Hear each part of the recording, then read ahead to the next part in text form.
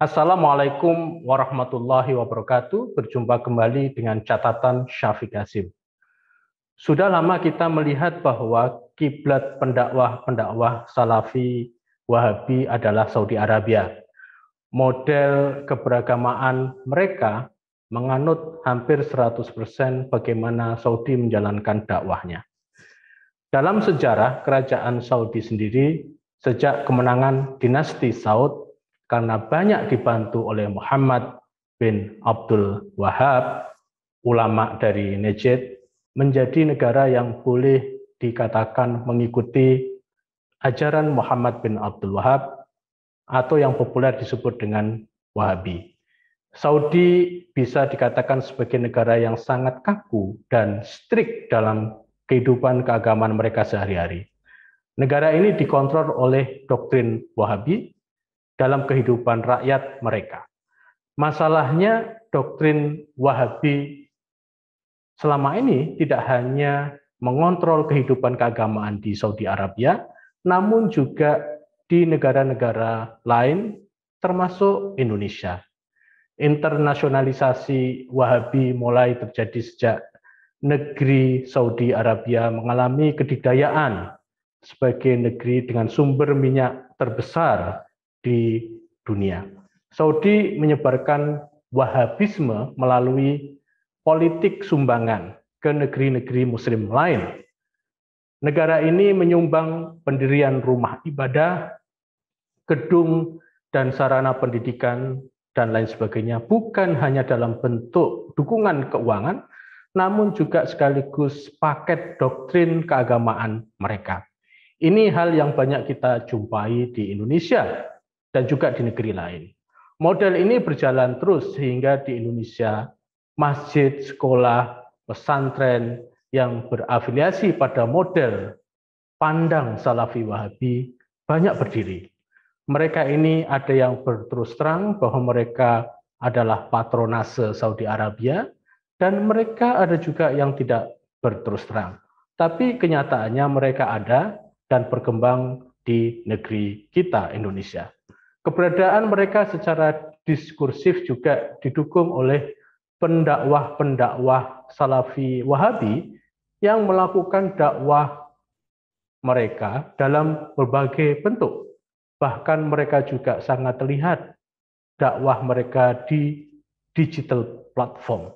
Namun sejak Saudi dipimpin oleh Raja Salman, perubahan Saudi menuju negara yang lebih terbuka pelan-pelan terjadi.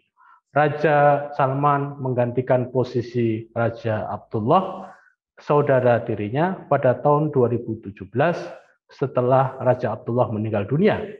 Putra mahkota Muhammad bin Salman, begitu Raja Salman ditetapkan, membuat gebrakan di Saudi Arabia sebagai negara yang terbuka dan akan meninggalkan konservatifisme Islam selama ini putra mahkota Muhammad bin Salman menganggap ketertutupan dan kekakuan yang disebabkan antara lain oleh ideologi Wahabi merupakan situasi yang tidak normal bagi Saudi. Perkembangan selama 30 tahun terakhir di Saudi menurutnya bukan mencerminkan Saudi yang sesungguhnya. Salah satu gebrakan yang diambil oleh rejim Saudi adalah mengembalikan kebebasan pada kaum perempuan. Kaum perempuan mulai berhak untuk berkiprah di ruang publik. Mereka diberi hak untuk mengemudikan mobil. Pengawasan laki-laki atas perempuan di ruang publik juga mulai dihapuskan. Artinya mahram nantinya sudah tidak dibutuhkan lagi bagi perempuan di Saudi Arabia. Kalau ini terjadi maka ini terobosan yang luar biasa. Tidak hanya berhenti di sini, rejim Saudi Arabia kini juga akan memangkas pengaruh ulama-ulama konservatif Wahabi yang selama ini membentuk ideologi keagamaan dan politik keluarga Saud. Bioskop juga sudah dibuka dan bisa ditonton oleh laki-laki maupun perempuan. Dulu tahun 70-an Saudi Arabia memiliki banyak gedung bioskop yang cukup. Namun karena fatwa dari ulama mereka yang konservatif, gedung-gedung sinema ditutup.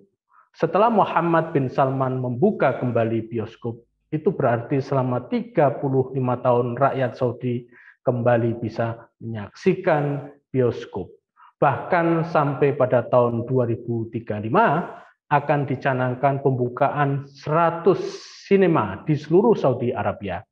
Sudah barang tentu ini merupakan gebrakan dan wacana tanding pada pandangan keulamaan Wahabi yang sudah lama mengharamkan sinema.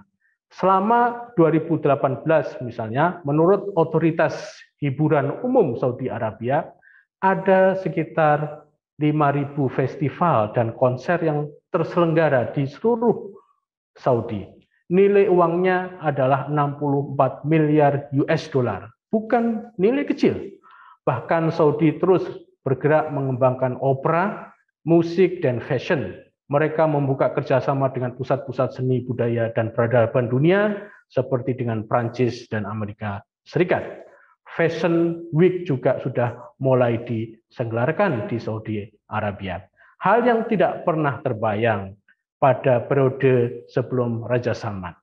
Kata Muhammad bin Salman, putra mahkota, perempuan-perempuan Saudi berhak juga menggunakan pakaian di luar abaya hitam dan juga berhak tidak memakai jilbab yang menutup wajah.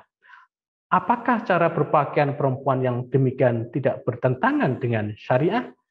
Menurut keterangan yang diberikan oleh putra mahkota Saudi Arabia, syariah membolehkan perempuan berpakaian yang pantas atau dalam bahasa Al-Quran disebut dengan istilah ma'ruf.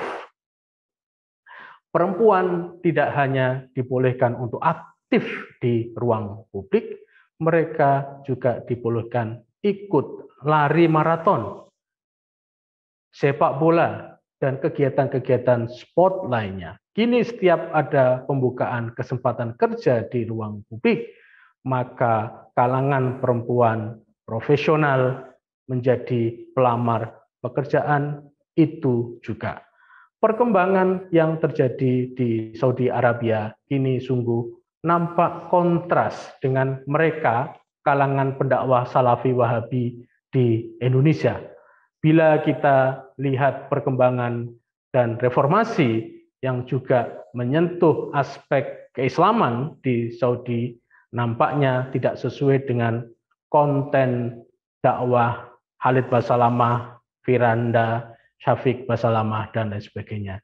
Jika melihat konten dakwah para kalangan Salafi Wahabi, kemungkinan banyak hal yang diharamkan dari apa yang kini dilancarkan oleh kerajaan Saudi Arabia.